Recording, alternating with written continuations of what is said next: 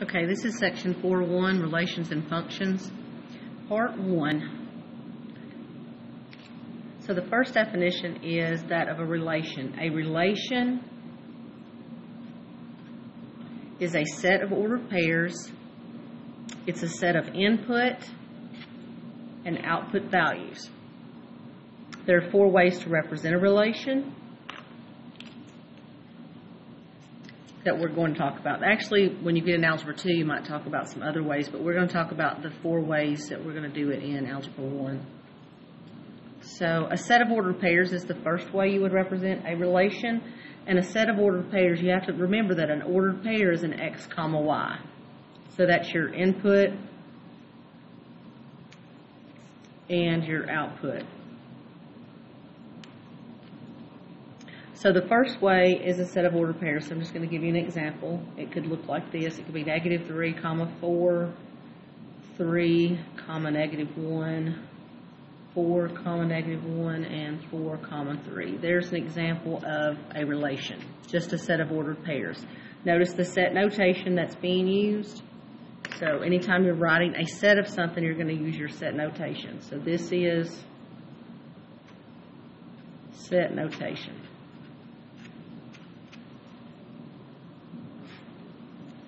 All right, the second way to represent a, a, relation is with a mapping diagram. And I'm just going to use the same set of ordered pairs, but this time I'm just going to change it to what it looks like in a mapping diagram. So this is going to be our input. This is our x, which we're going to call the domain in a minute. So the more times we hear it, maybe we'll remember it. And this is our y, the output. This is our range. So again, you know, the more times that we hear this, maybe we will remember it better. So, let's see, if I go up here, negative 3, 3, and 4, and 4. So, negative 3, 3, and 4. Just because that appears twice does not mean that I have to show it twice. So, negative 3, 3, 4, and 4. So, I just need the 4 once. All right, range would be your y values. That's your output. You have 4, negative 1, negative 1, and 3. Typically, they're written in order, but I'm just going to write them down for right now. I've least to greatest, so I'm just going to put them in the way that we saw them in the set of ordered pairs. And then you map it. Negative 3 gives you 4, so we map it to 4. Positive 3 gives you negative 1. 4 gives you negative 1. And 4 also gives you 3. So a mapping diagram. This way you can tell that negative 3 only maps to one thing, 3 only maps to one thing, 4 maps to two different things, so 4 is used twice. So a mapping diagram. The next way to represent a relation is a table of values. And I'm going to use the same set of ordered pairs that's above. Make my chart a little longer here. All right, so the first point at the top is negative 3, negative 4. So negative 3, no, positive 4. And the other point is 3, negative 1. And then 4 to negative 1. And 4 to 3. And the last way we're going to represent a function is by the graph. So it's a set of ordered pairs, so our graph is going to be a set of ordered pairs. So I'm just going to plot my points. I'm going to go, let's see, negative 3, start at the origin, go 1, 2, 3 left, and then up 1, 2, 3, 4. So there's the point. And since this is notes, I'm going to label the point. So if you go back, you'll know which point's which. So 3, negative 1 means I go back to the origin. I go right 1, 2, 3 because it's positive 3 and down to negative 1. So that is 3, negative 1. I didn't put a negative 1 on here, but I will now. So negative 1. And then 4, negative 1 means I'm going to go to the right 1, 2, 3, 4, and then down to negative 1. So that one is 4, negative 1. And then 4, 3 means I'm going to go right 1, 2, 3, 4, and up 1, 2, 3. Looks much better on graph paper, but it was just easy to get all these on one page for you. All right, so there's your four ways to represent a function. You had a set of ordered pairs. You have a mapping diagram, a table of values, and a graph.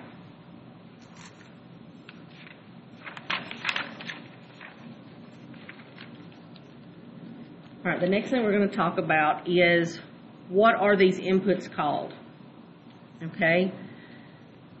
They're the x value. They're called the domain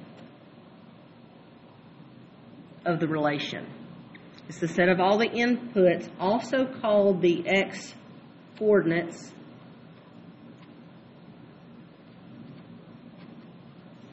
of the ordered pair. So this is your inputs,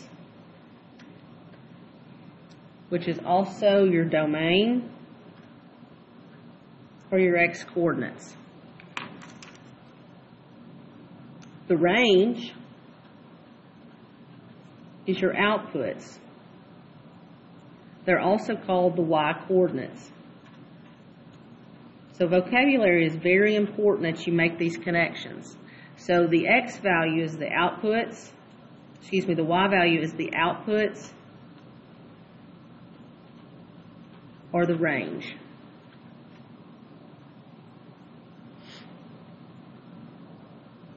So domain, range, you can kind of think of this is D and R, it's alphabetical, as X and Y are alphabetical. So domain for the X and range for the Y's. All right, let's look at these examples. We are going to find the domain and the range. So first we're going to find the domain. The domain is your x values or your input. So this is your domain. And you just write it with set notation. So you need the little, the braces. And then you're just going to list the x values. Negative 5, negative 1, 3, and 4. And when you're putting your answers in Schoology, you're going to, this is all on your keyboard and use no spaces. You can type it right in. And typically your domain is written from, and, and your range as well, is written from least to greatest. All right. The range, which is your Y values or your output, is still going to be written as a set, and we're just going to list it out. It's already from smallest to largest, so 0, 2, 6, and 7. So that's the set of the Y values. So that's just how you find your domain and range when you have a mapping diagram. We're going to look at some other examples. All right. Number two, we have a set of ordered pairs. So we're going to find our domain first. So that's 0, 1, 3, 4, and 6. None of them repeat. So I'm just going to list them. 0, 1, 3, 4, and 6. And then your range is going to be your Y values.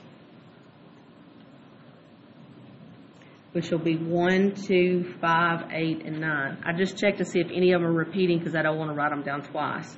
So 1, 2, 3, 5, oops, not 3, 8, and 9.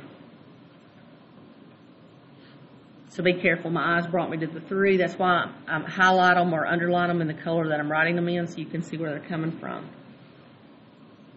All right. 3 and 4 are problems like we were just working, so you want to pause the video for a minute and try to work those two, and then you can resume the video and check to see if you did it correctly. That would be fine with me. That might be a good thing for you. Um, but I'm going to go ahead and do it. If you want to pause the video and then resume to see if you wrote it down correctly, that would be good. All right. So, domain. Remember, it's the x values or the input. Write it in set braces because we write a set notation and you just list them. Negative 3, negative 2, 4, and 5. And then the range is your output or your y. And we're just going to list them. Negative 3, 2, 4, and 8.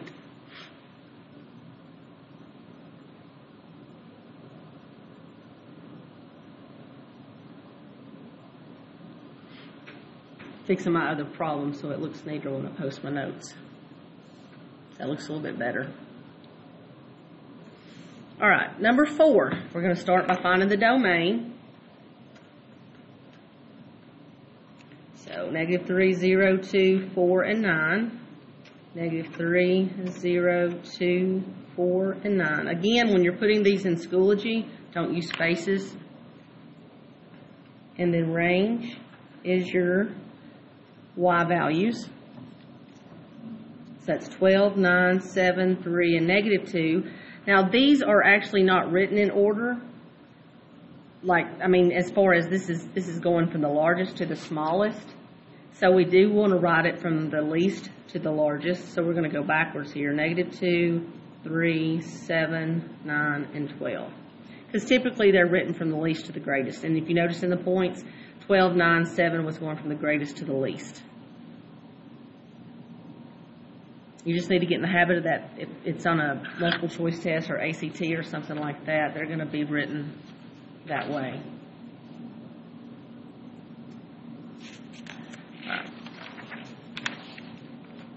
The next thing we're going to talk about is a special type of relation. A special type of relation has a special name. It's called a function.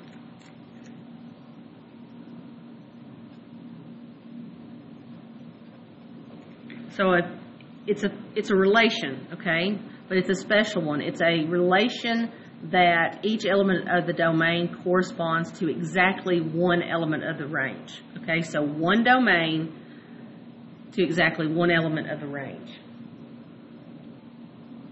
All right, so the hint to help you is just remember that the x values do not repeat. Your y values, as far as just determining if the relation is a function, is not relevant, okay? That's something different, a one-to-one function that you might learn later. But basically, each element of the domain, that means 1x, corresponds to exactly one element of the range, which is your y's. In other words, you're looking to see if the x values repeat. If they don't repeat, it's a function. So in the next set of problems, we're just going to look at the problem and we're going to decide whether it's a function or not. All right, so if you look at this mapping diagram, you can see that negative 3 goes to negative 2, 0 goes to 7, and 4 goes to 1. So these x values are only being mapped to one of the y values, so this is a function.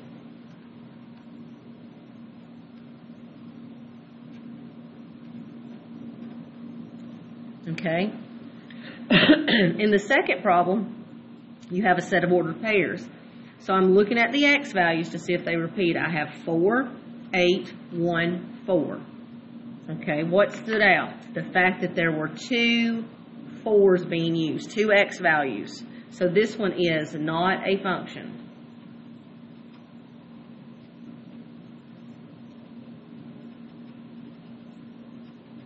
Because the x equals 4 was used twice or it repeated, or it was mapped to a 1 and a negative 1.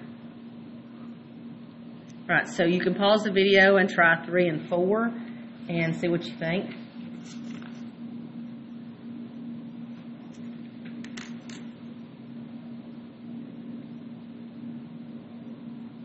All right, if you're looking at number 3, if you notice you've got 2 mapped to negative 3, but 2 is also mapped to positive 3, so right there it's going twice that means it's not a function.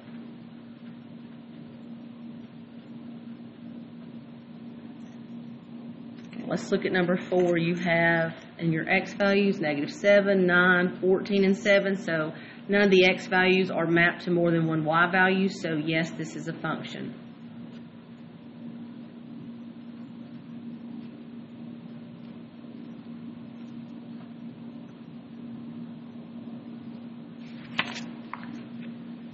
There's another way to tell if you have a function, and that would be by using something called a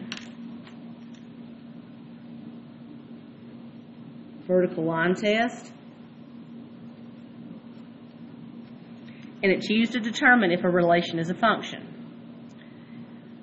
If it passes the graph or through the graph more than once, that means it's going to cross the graph at more than one point, then this relation will not be a function. Okay? So if it passes through more than one point on the graph of that relation, it's not going to be a function. All right, so I'm giving you an example, and I'm going to put some uh, points on here. This is negative 2, and this is positive 2, and this is 1, 2, 3. So if I put a dot here, the coordinates for that are 3, 2. And then the coordinates for this one are, this point would be 3, negative 2.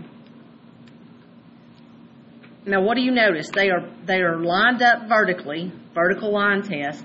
And if I drew a vertical line through the graph, just to check to see if it crossed the graph more than once. Here's your vertical line test. And if you look carefully at the two points that it hits, the coordinates for this one are 3, 2, and the coordinates for this one are 3, negative 2. So, this is not a function because the 3 is being mapped to two different y values. So this is not a function.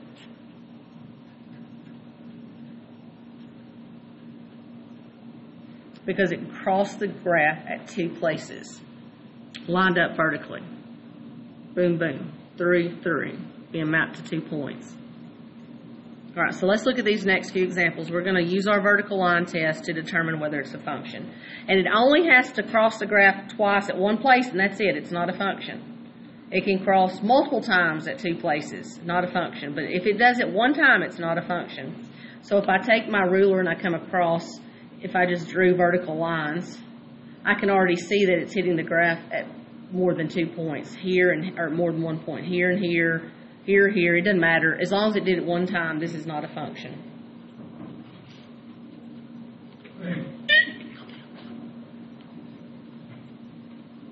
All right, so number two, this one is an absolute value graph, the V-shaped. If I draw lines across this, it's not crossing more than once, so this is a function. Sorry, that was Mr. Harper that just came in and I shoot him out. I probably sound like a mouse. Um, we're about finished. All right, so this one is just a set of ordered pairs. It's not like a connected graph, but that when I draw a vertical line on that point, it's not crossing but one at a time. Here, one at a time. Here, it's crossing two places. That does it right there. This is not a function. So that's what that's the reason why it's not a function. It hit those two points. That means they share the same x value. All right. You want to try these three, you can. I'm going to go ahead and work those, and then I'm going to tell you what you're going to do with these practice problems.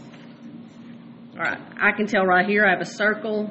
Boom. It's going to hit two points on that vertical line test. It's going to share the same x value. This is not a function. And here I can check, doesn't hit but one, doesn't hit but one, doesn't hit but one, doesn't hit but one, doesn't hit but one, doesn't hit but one. This one is a function. And here's a cubic function you'll see in Algebra 2, or it could be sine or cosine, I don't know. It depends. Anyway, as I'm going across this graph, I can see that I am never going to cross that graph at more than one point at a time with my vertical line, so this one is also a function. All right, so I have some practice problems on here.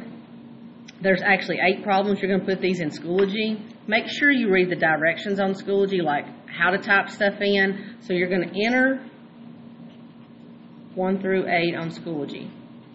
Just as practice to see if you could do it after the lesson. You're also going to have a short assignment. So you're going to do these. Now I'm going to go down here. We haven't talked about this since before break. So domain. Remember that interval notation with the parentheses?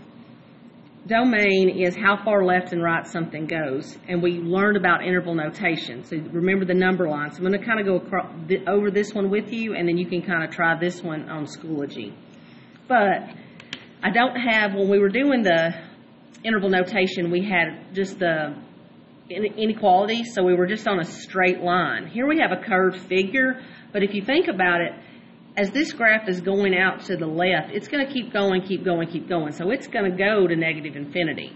And as I look at this graph, it's going to keep going, keep going, keep going. So it's going to go to positive infinity. And remember, infinities always get parentheses because it's going to keep going. So domain is left to right. How far left, how far right? We're going to do several of these. I have another activity. All right, range is from top to bottom. So range is the y value. So you notice here the graph doesn't just keep going. It actually starts right here at zero. It looks like the graph is going through zero. So it's going to start at zero because you go bottom to top, smallest to biggest. So I'm going to give it a bracket because it's actually going through zero. And then how far is this thing going to go? It's going to keep going up. It's going to keep going up. It's going to go to positive infinity. Now on Schoology, you're going to copy and paste the infinity symbol that I have on there for you. So you're going to enter these answers. You're going to try number eight. All right, so last thing you have to determine is, is this a function? Well, if you draw vertical lines, it's not going to cross it more than once, so yes, this is a function. So you're just going to type in yes or select if it's a function. So now you're going to go do 1 through 6, you're going to type in number 7, and you're going to try number 8. And if you have questions, then I'm here for you to ask. You're also going to have a short assignment to follow this up with. This is just part 1 of section 4.1. All this stuff you'll do again in Algebra 2.